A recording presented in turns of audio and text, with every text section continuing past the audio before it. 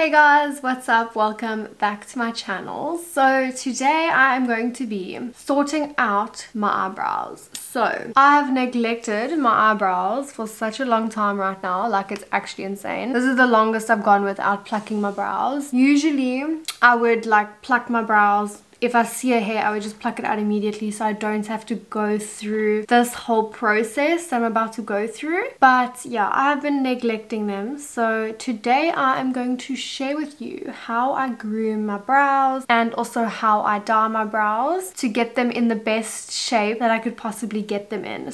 Without any further ado, don't forget to like this video if you enjoy it, subscribe to my channel, you know, do all the things that you know you're supposed to do and let's just jump straight into this video video.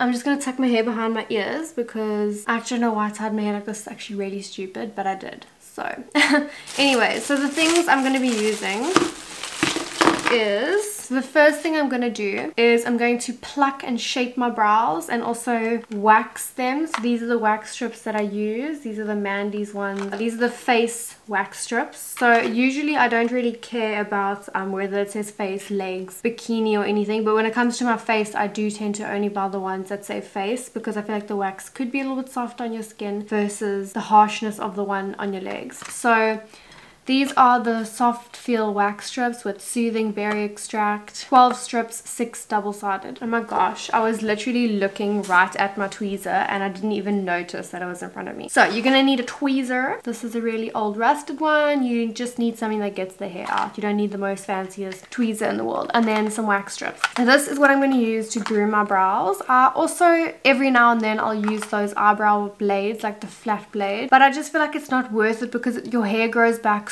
quickly. Like I'm not sure if it's only me, but when I shave anything, the hair just grows back so quickly. That's why I've just started waxing everything because at least then I've got a two week gap before I have to redo everything again. So yeah, I just prefer to wax because it gets the hair out by the roots and then it also lasts longer. That's what you need for grooming the brows. And then I'm going to be dyeing my brows afterwards. I know that you shouldn't dye your brows after literally just waxing them, but I'm going to because I do it all the time and it doesn't react badly at all. So the product that I'm going to be using to dye my brow is this one. This is the Refecto, the RefectoCil, this brand over here.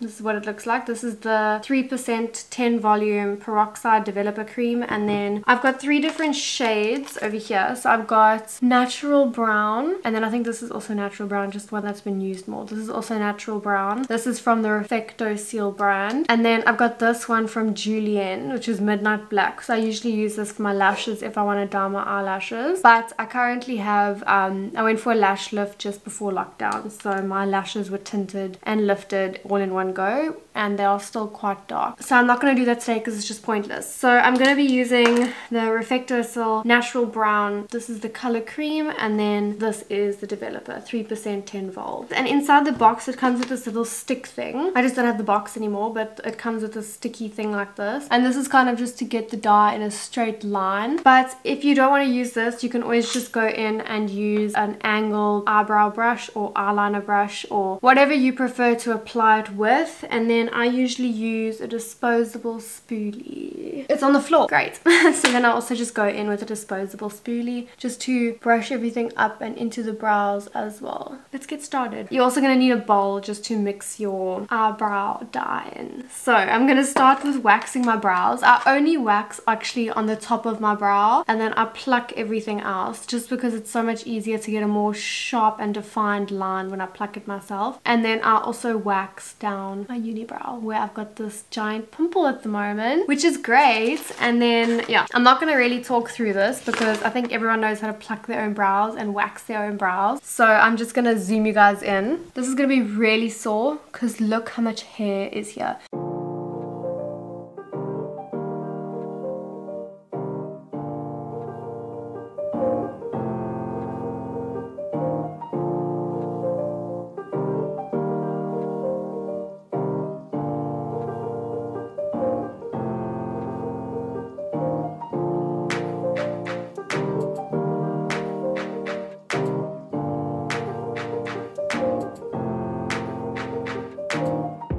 Also just using, just like a little tip if you do have one of these um, like vanity mirrors like this, um, one side of mine is a normal mirror and then the other side kind of zooms me up close so it kind of allows me to see more of what's going on in my face which is very bad for me being a pimple picker but other than that when I'm doing my eyebrows it's very helpful. So this is how I'm just going to do underneath my brow. I will obviously pluck out a few as I go where I see but at the moment I'm happy with the shape underneath and I'm still gonna dye it so I don't like to make my eyebrow too thin. I like to keep the shape that I've kind of got going and this is my natural thickness so I don't want to really mess with it. And now I'm just going to brush my eyebrows downwards. I'm going to finish one eyebrow first like just with the grooming part and then I will move on to the dyeing part together. I don't trim my brows. It's really not something I recommend. I've done it a few times. I was really not a fan so I just decided not to do it anymore. So now I'm just going to go in with the wax strips. This is what they look like. So I'm just going to warm it up in my hands because I know that it's a must to warm up the strip before pulling it apart and then also before pulling it. And then I'm going to pull it apart. It pulls apart very easily. I hope that these ones work because I usually don't use the Mandy's ones. So I'm hoping that it does work. And then I'm just going to place this on the top of my brow. So if you can't see this, I'm sorry, but just place it on the top of your brow. Okay, so I'm just going to go ahead and cut this strip so that the way I place it is where I want it to pull off because I don't like that gap. It makes, it makes me confused confused. so I'm just going to brush my eyebrows downwards again. I think I got a bit of wax in them, but it's fine. We'll just use some oil to get rid of it. And I'm just going to place this above my brow. I'm going to warm up the strip some more. And then I'm going to support from this side because I'm pulling mm-hmm. this way. And I'm just going to rip it off. I can't see the hairs in the pink wax, but it definitely did remove some hair. you can't even see it on camera, but yeah, I can feel it remove the hair and I can see it remove the hair. I'm just going to do that on the top of my brow and then I'm going to put one down the side of my brow over here. I'm going to take the strip I'm going to place it down the angle of my brow. And when it comes to waxing, I'm pretty sure it's general knowledge, but if the hair is growing downwards, you want to pull upwards, obviously to pull it against its natural growth. Because if you just put it with its growth, it's not actually going to rip it out. So the hair's growing down, so I'm going to pull up. These wax strips are actually really nice. They like don't hurt too much, but they hurt just, in, well, not, they don't really hurt. I don't know. I'm like kind of immune to waxing. When you wax your whole bikini area, you become immune to it on your face. I also usually, during my eyebrow routine, I also go and wax my own moustache if I am growing any hairs there. But at the moment, it doesn't look like I've got anything going on. So now I'm just going to take some wet wipes and just wipe any excess wax off. And then I'm going to grab another strip and I'm just going to cut this off now before it sticks to my scissors. And then I'm going to cut this in half because this is going to be for my unibrow so my unibrow hair it grows upwards. So I'm going to pull it downwards. I feel like I should also cut the other side off with this. It makes me so democrat. I don't know why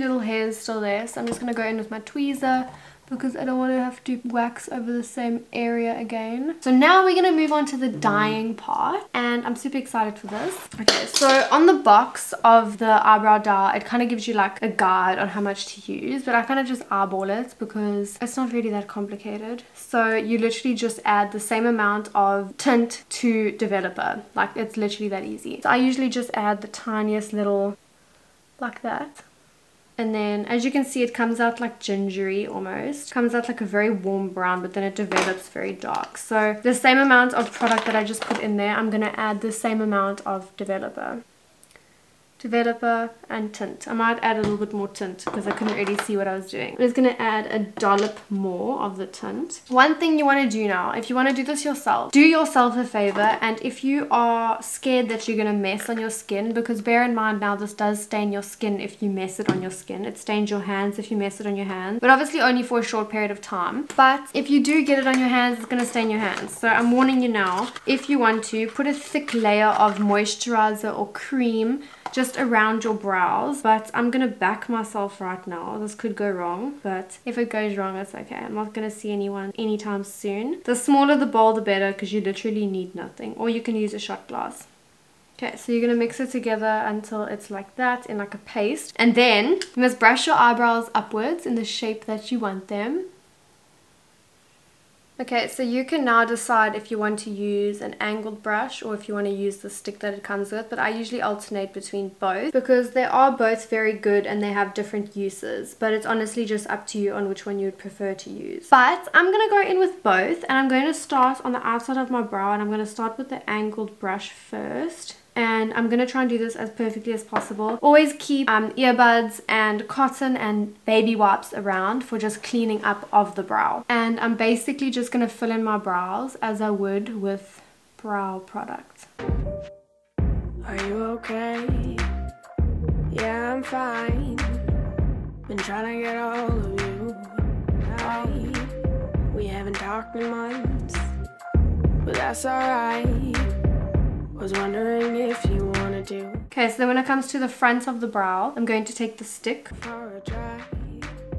I just need some fresh air and an old friend. I'm so glad that we started talking again. Yo, turn up the radio, I love this song. Remember when we used to stay up all night long? How's it been going? Oh, how's it, mom? The roads are so empty, this is so damn calm. If we stick on the highway, we can drive on. So that's kind of the shape I'm going for. It always looks more intense than what it really is, but I promise you it always ends up fine.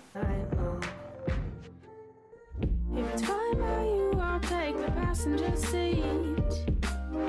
We drive around to the sky and see meet. If it's fine by you, I'll take the passenger seat. Okay, so I just realized I forgot to set a timer for this brow, but I'm guessing it's been on for about two to three minutes. Let's hope. Otherwise, one brow is going to be darker than the other. I'm just going to let this sit on my brows for like another three minutes or two minutes. I'm going to put it for two and then decide. So I've just set a two minute timer on my phone. Okay, so I'm just, my timer just stopped, but I'm to do another minute. I'm to wipe this brow off and then do another minute on this brow. Ah, looks so amazing. I love it. That is honestly perfection. Like if you had to actually argue with me, like you can just jog jogon.com. Okay, so the timer's done and I'm gonna wipe this side off now. You guys, my eyebrows look amazing.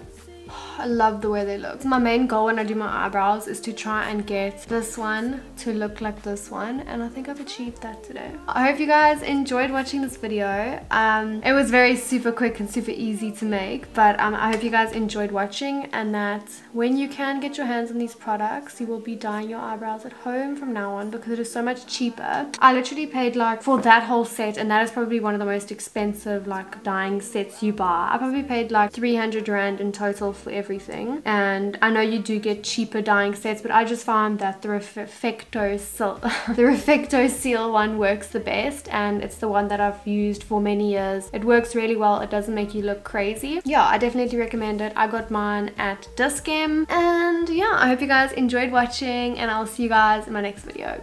Bye!